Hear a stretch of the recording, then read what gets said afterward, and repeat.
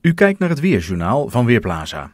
Weer zo'n prachtige lentedag met temperaturen die flink opliepen in het binnenland en wat achterbleven langs de kust. En dat kwam omdat de wind van zee kwam waaien. Dat heeft nog een nadeel, want we zien op de Noordzee ten noorden van ons land wolkenvelden klaar liggen. En die komen met de noordelijke wind geleidelijk aan naar het zuiden afzakken. En dat betekent voor vanavond, vannacht en ook voor een deel van morgen dat we te maken krijgen met meer bewolking. Maar daar blijft het bij, want het blijft ook droog. Dat zien we ook als we gaan kijken wat de computer ervan maakt. Vooralsnog invloed van een hoge drukgebied met weliswaar wat wolkenvelden, maar in ieder geval droog weer. In Spanje en Portugal kunnen een paar buien vallen. En datzelfde geldt ook voor het hoge noorden en voor het oosten. Maar verder dus op veel plaatsen dat hoge drukgebied wat de klok slaat. En dat betekent rustig lenteweer. Niet al te warm, en dat is omdat in een groot deel van Europa de wind uit het noorden waait.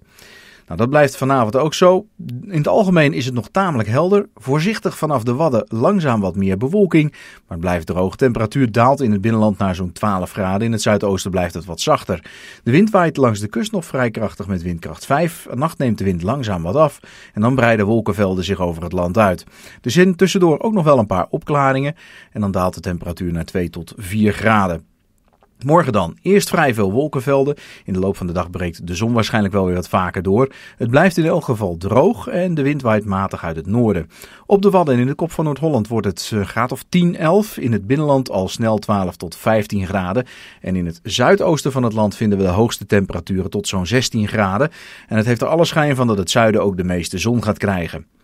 Dan gaan we naar donderdag, vrijdag en zaterdag. Donderdag op veel plaatsen de zon met in het noorden misschien nog wat wolkenvelden. Vrijdag is het lange tijd droog en pas tegen de avond of zelfs in de avond neemt de kans op een bui in het zuiden wat toe. Vrijdag is de wind naar het zuidwesten gedraaid en dat betekent dat het kwik weer hoger uit kan pakken. Het wordt dan 16 tot 20 graden.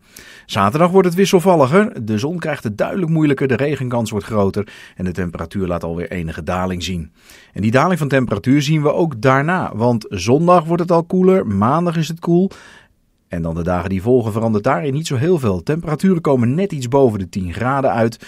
En het is deze dagen ook wisselvallig. En dat betekent dat op Koningsdag, maandag, we uit moeten gaan van te lage temperaturen voor de tijd van het jaar. En de mogelijkheid op wat neerslag. Ik ben Marco Verhoef van Weerplaza.nl.